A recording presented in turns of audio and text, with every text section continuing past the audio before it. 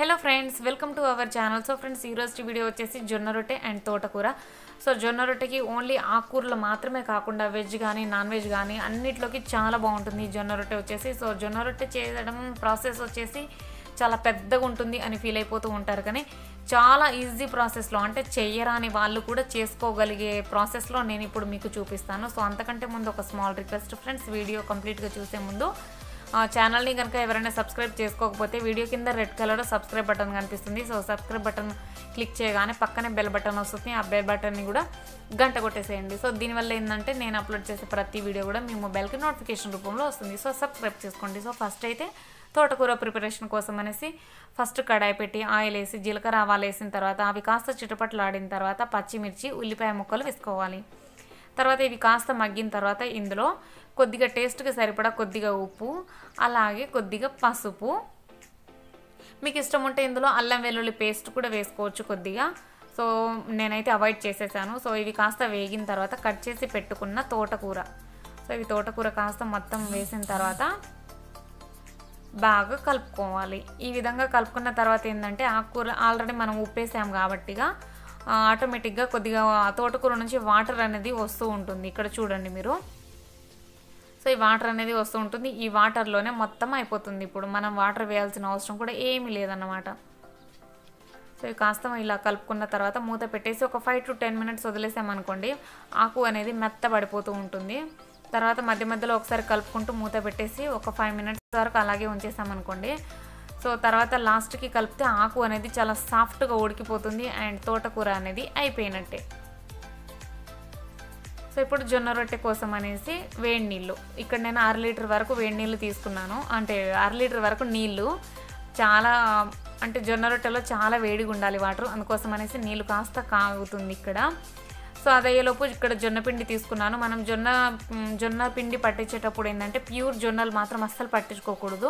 Pure జొన్నలు పట్టించుకోవడం వల్ల ఏంటంటే రొట్టెలు సరిగా రావు మొత్తం విరిగిపోతూ ఉంటుంది. అండ్ చాలా చేదుగానే ఉంటుంది. రొట్టె తినలేరు కూడా. అందుకోసం అనేసి జొన్న పిండి పట్టించేటప్పుడు ఏంటంటే కొద్దిగా బియ్యం వేసి పట్టించుకోవాలి. ఇక్కడ నేను నీళ్ళు కాస్త బాగా వేడైన తర్వాత ఇక్కడ నేను జొన్న పిండిలో ఈ వేడి నీళ్ళు వేసి ఇక్కడ కలుపుతున్న విధానం అయితే చూడండి. జొన్న రొట్టెలో వచ్చేసి చాలా మెయిన్ ప్రాసెస్ వచ్చేసి మనం పొడి పిండిలో నీళ్ళు వేసి కలుపుకోవడమే. సో నీళ్ళు ఎక్కువ తక్కువ అయినా కూడా ప్రాబ్లం ఇక్కడ చూసారు కదా పిండిని ఇక్కడ నేను ముద్దలాగా చేస్తున్నాను కదా ఈ పొడి పిండి ఇలా అయిపోవాలి. అయితేనే మనకు పర్ఫెక్ట్గా రొట్టెలు అనేవి వస్తాయి. నీళ్ళు కొద్దిగా ఎక్కువైనా కూడా రొట్టెలు అనేవి విరిగిపోతూ ఉంటుంది.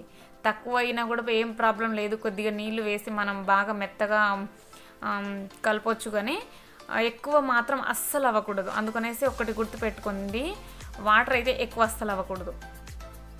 తర్వాత కొద్దిగా చెన్నీళ్ళు తీసుకున్నాను అంటే నార్మల్ వాటర్. తర్వాత ఈ పిండినంతా ఒక సైడ్కి పెట్టేసిన తర్వాత ఇలా అద్దిన తర్వాత అందులో నుంచి కొద్ది కొద్దిగా పిండి తీస్తూ ఇక్కడ కొద్దిగానే వాటర్ అనేది చేతికి చేతికి అద్దుకుంటూ పిండిని కలుపుకోవాలి. మెయిన్ ప్రాసెస్ ఇదే. ఈ పిండి కలపడంలోనే ఉంది మొత్తం. సో ఈ విధంగా పిండిని మొత్తం మెత్తగా మంచిగా కలుపుకున్న తర్వాత మీరు ఫస్ట్ టైం చేసే వాళ్ళ చేస్తున్నట్లయితే కనుక పిండిని కొద్దిగానే తీసుకోండి. ఎక్కువ మాత్రం అస్సలు తీసుకోవద్దు మీకు ఆల్రెడీ వచ్చింది చాలా బాగా వస్తున్నాయి రొట్టెలు అని అనుకున్నప్పుడు మాత్రమే కొద్దిగా పిండిని అనేది ఎక్కువ తీసుకోండి. ఇక్కడ చూపిస్తున్న ప్రాసెస్లో ఈ విధంగా ప్రిపేర్ చేసుకోవాలి ఇప్పుడు పిండిని. సో ఈ విధంగా ప్రిపేర్ చేసుకున్న తర్వాత మన ఇంట్లో ప్లాస్టిక్ కవర్లు అనేవి ఉంటాయి కదా సో ఆ ప్లాస్టిక్ కవర్ని మంచిగా రౌండ్గా కట్ చేసుకోవాలి. తర్వాత ఇక్కడ అడుగుకి నేను కొద్దిగా పొడి పిండి వేసాను ఎందుకంటే పైన కవర్ వేసాం కదా ఆ కవర్ ఈజీగా కద మూవ్ అవ్వడానికి కదలడానికి. తర్వాత పైనుంచి కొద్దిగా లైట్గా వాటర్ అండ్ కొద్దిగానే ఆయిల్ జస్ట్ కొద్దిగానే ఆయిల్ వచ్చేసి ఎక్కువ ఏం పట్టదు దీనికి. జస్ట్ కొద్దిగానే ఎందుకంటే రొట్టె అనేది మనం ప్రిపేర్ చేసినప్పుడు ఈజీగా ఊడి రావడం కోసం అనేసి జస్ట్ కొద్దిగానే. తర్వాత ఇక్కడ చూపిస్తున్న మాదిరిగా ఇక్కడ ప్రిపేర్ చేస్తున్నాయి ఒకసారి మనం కొద్దిగా ఆయిల్ అద్దుతూ ఈ విధంగా ఒకసారి ప్రిపేర్ చేసుకొని పైన ఇంకొక ప్లాస్టిక్ పేపర్ని మనం పెట్టేసిన తర్వాత నేనైతే ఇక్కడ గ్లాస్ని వాడుతున్నాను. సో నాకైతే ఇదే అలవాటు. బాగా మీ ఇంట్లో మీ చపాతీ కర్ర ఉన్నా కూడా యూస్ చేసుకోవచ్చు. ఇప్పుడు నేను చూపిస్తున్నట్టుగా దీన్ని రౌండ్గా చేసుకోవాలి ఈ విధంగా. సో చేతితో కష్టపడాల్సిన అవసరము లేదు. అండ్ పొడి పిండి వేసి చేతి చేతి మీద అద్దుతూ ఇలా చేయడం కూడా ఏం కష్టపడాల్సిన అవసరం లేదు. జస్ట్ ఈజీగా ఇలానే సింప్లీగా అయిపోతుంది. సో ఒకసారి చూడండి. పైనుంచి ఇలా కవర్ తీసేసామా? తర్వాత రొట్టె అనేది ఒకసారి మీరు ఇక్కడ చూ చెక్ చేసుకోవాలి. ఫస్ట్ పెనం మీదకి వేసే ముందు. సో ఈ విధంగా బాగా ఊడి ఊడొచ్చేస్తుంది. సో అందుకోసం అనేసి నేను ఇక్కడ స్టవ్ దగ్గర స్టవ్ దగ్గర తీసుకొచ్చి పెట్టాను. తర్వాత పెనం పెట్టి హై ఫ్లేమ్లో మనం జొన్న రొట్టెలు కాల్చుకునేటప్పుడు హై ఫ్లేమ్లో ఉంచాలి. సో గ్యాస్ను వచ్చేసి స్టవ్ని. సో నేనైతే చాలా పెద్దగా చేసేసాను ఇక్కడైతే. పెనం దాటి పోతుంది రొట్టె అయితే. సో ఈ విధంగా ప్రిపేర్ చేశాను నేనైతే. సో ఇప్పుడు కొద్దిగా తక్కువ తీసుకోవాలి పిండిని అనేది. సో ఇప్పుడు నేను ఇంతకు ముందు చూపించిన మాదిరిగానే కొద్దిగా పొడి పిండి ఇప్పుడు ఒక సైడ్కి పెట్టాం కదా పిండిని వచ్చేసి అందులో నుంచి కొద్ది కొద్దిగా తీస్తూ కలుపుతూ ఇందాక చూపించినట్టుగానే ప్రిపేర్ చేసుకోవాలి. అన్ని రొట్టెలు కూడా ఇలాగే ఇంకా.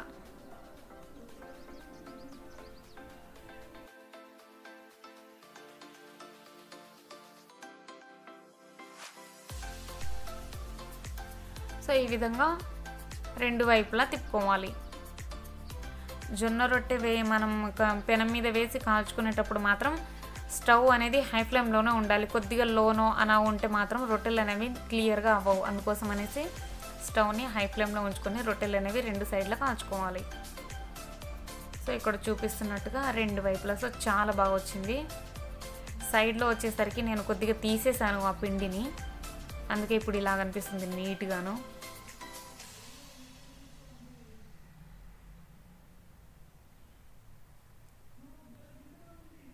సో ఈ విధంగా రెండు వైపులా కాల్చుకొని ప్లేట్లో తీసుకోవాలి.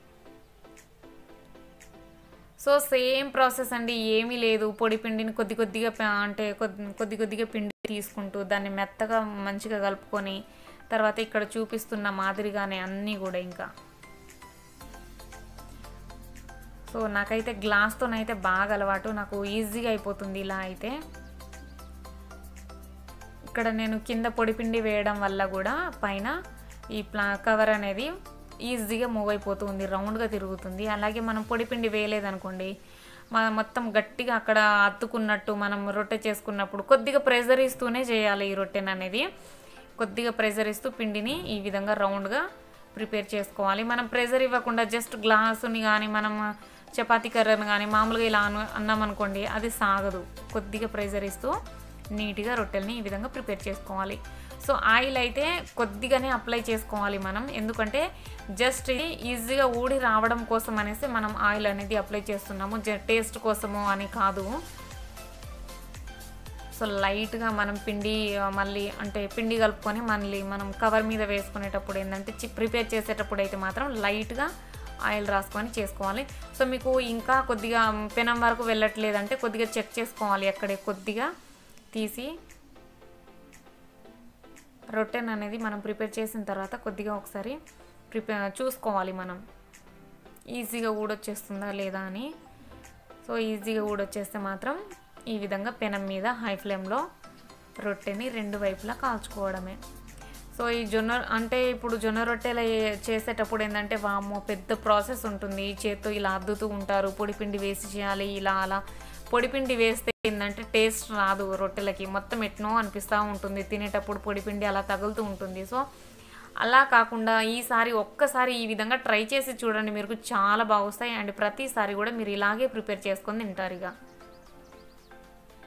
అండ్ ఇంకొకటి మెయిన్ చెప్తున్నాను మళ్ళీ చెప్తున్నాను. జొన్నపిండి పట్టించేటప్పుడు ఏంటంటే ప్యూర్ జొన్నలతో అస్సలు పట్టించుకోకూడదు. అందులో మనం కేజీ జొన్నలకి కనీసం అర కేజీ రైస్ వరకైనా వేసి పట్టించుకుంటేనే రొట్టెలు కూడా టేస్టీగాను ఉంటుంది. అండ్ మనం చేసే రొట్టె కూడా చాలా బాగా వస్తుంది విరగవు కూడా. జొన్నలు మనం ఎక్కువ వేసుకుంటే ఏంటంటే కనుక మొత్తం విరిగిపోతూ ఉంటాయి. చేయడం కూడా మనకు కష్టమైపోతుంది. అండ్ తినడం కూడా కొద్దిగా చేదుగా అలా అనిపిస్తూ ఉంటుంది. అందుకోసం అనేసి తినలేరు ప్రిపేర్ చేసుకోలేరు. అలా అయిపోతుంది. అందుకోసం అనేసి కొద్దిగా రైస్ వేసుకుంటేనే చాలా బాగుంటాయి రొట్టెలు అనేవి. సో ఇదే విధంగా ఇంకా అన్నీ ప్రిపేర్ చేసుకోవాలి. అండ్ ఈ వీడియో కనుక మీకు నచ్చితే కనుక ఖచ్చితంగా ఒక లైక్ చేయండి. అండ్ ఛానల్ని సబ్స్క్రైబ్ చేసుకోమడం సబ్స్క్రైబ్ చేసుకోవడం మాత్రం అస్సలు మర్చిపోవద్దు అండ్ లైక్ చేయడం అస్సలు మర్చిపోవద్దు. సో నెక్స్ట్ వీడియోలో మళ్ళీ కలుద్దాం. అంతవరకు బాయ్ ఫ్రెండ్స్.